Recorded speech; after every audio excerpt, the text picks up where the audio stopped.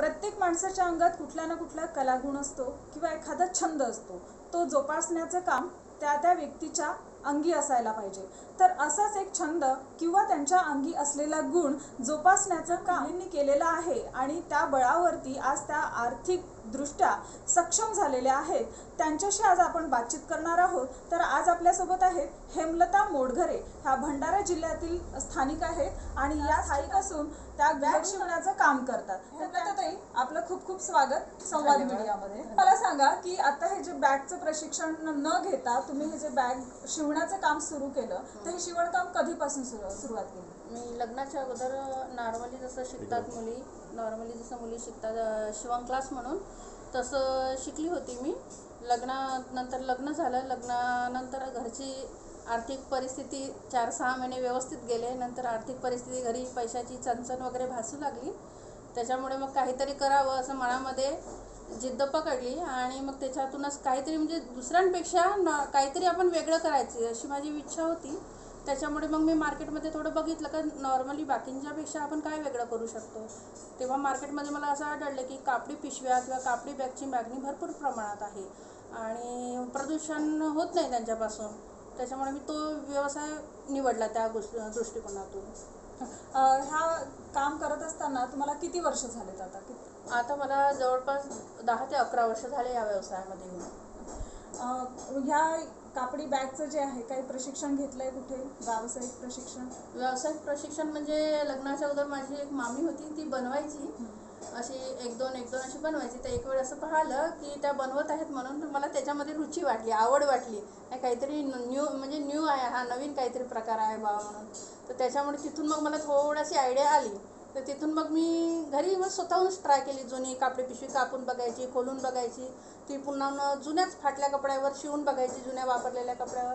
तिथून मग ती आयडिया येत येत आता व्यवस्थित एकदम परफेक्ट शिवून दाखवते. जो पॅटर्न म्हणतील तो जे डिझाईन कस्टमर म्हणतील ती.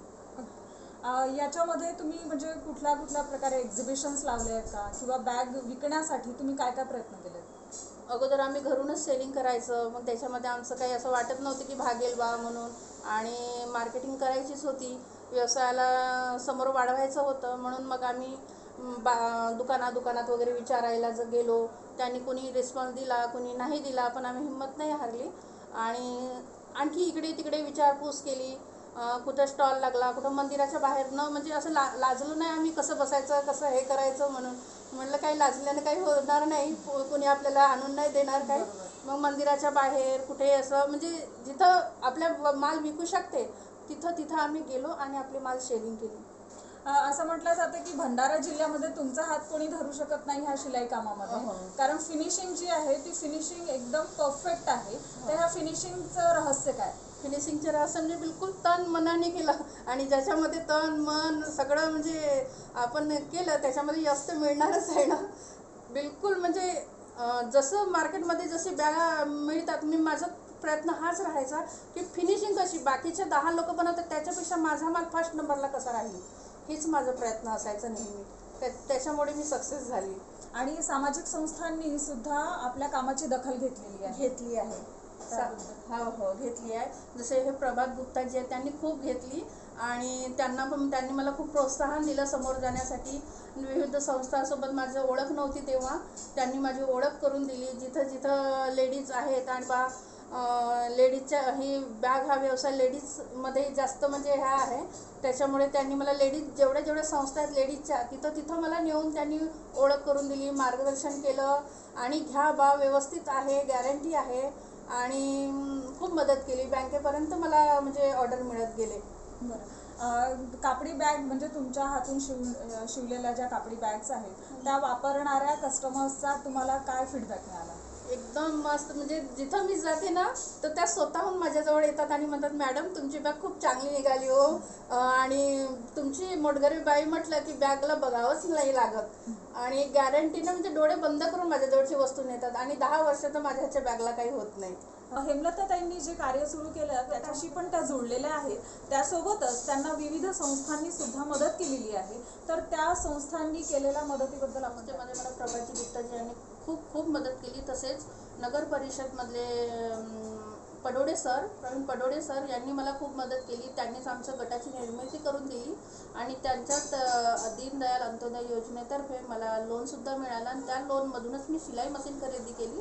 आणि तिथूनच आणखी मी सहा बायांना काम देऊन त्याच्यातच शिलाई मशीन वगैरे त्याच पैशाने लोनच्याच पैशातून घेऊन आणखी महिलांना काम दिलं मी त्यामधूनच. तुमच्या हातात ही जी बॅग आहे ह्या बॅगबद्दल आम्हाला काय सांगाल? ही टोपली बॅग आहे. हिचं नाव टोपली बॅग आहे. आणि ही जास्त लेडीज मार्केटमध्ये वगैरे जायसाठी बँकेत वगैरे जायसाठी त्या हिशोबाने ही बॅग घेतात ही. आणि वॉशेबल आहे. वॉशेबल आहे. आणि चेन वगैरेची आम्ही एक वर्षाची गॅरंटी घेतो जी खराब झाली तर आम्ही फ्री सर्व्हिसिंग देतो याची.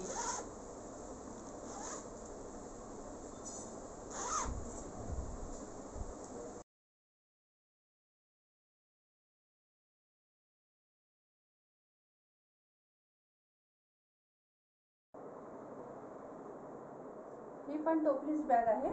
त्याच्यापेक्षा मोठ्या साईजची आहे. कस्टमरची जशी ऑर्डर राहते जसं राहते आम्हाला छोटा साईज पाहिजे मोठा साईज पाहिजे त्यानुसार त्यांच्या इच्छेनुसार आम्हीही तयार करून देतो त्यांना.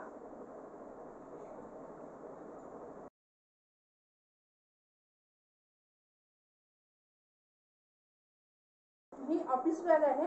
हे सर्व आय टी आयचे लोक किंवा जॉब करणे जॉब करणारे व्यक्ती ही बॅग डबा बॅग म्हणून यूज करतात जास्तीत जास्त.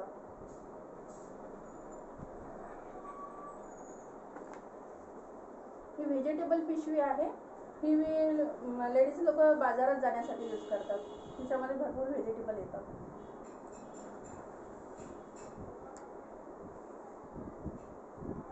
ही नॉर्मली लेडीज लोक गावी जाण्यासाठी यूज करतात जास्तीत जास्त. ह्यामध्ये दोन व्यक्तीचे कपडे आरामात येतात. एका दिवसाचं जर त्यांनी जातो म्हटलं तर ह्या बॅगमध्ये भरपूर कपडे येतात. ही. ही बॅग सफर बॅग आहे. हिच्यामध्ये आपण चार दिवसासाठी कुठे जातो म्हटलं तर जाऊ शक जाऊ शकतो ह्या बॅगला पकडून. आणि ही वॉशेबल बॅग आहे टिकाऊदा टिकाऊ आहे. जर ही समज कधी फाटली पण तरी आपण हिला घरी स्वतः आपण करू शकतो. माझ्याकडून घेतली तर मीच करून दिलं पाहिजे असं नाही. स्वतः सगळ्यांच्या घरी शिलाई मशीन असते. तर स्वतः पण हिच्यावर शिलाई मारून करू शकतात. बाहेर जाण्याची जरूरत नाही रिपेरिंगला किंवा शिलाई मारायसाठी यांना. आणि मज मजबूत भरपूर आहे. आणि कपडा तर ह्या होत्या हेमलता बोडघरे भंडाऱ्याच्या. त्यांनी पर्यावरणपूरक अशा बॅग तयार केलेल्या आहे कापडी कापडी बॅग तयार केलेल्या आहेत.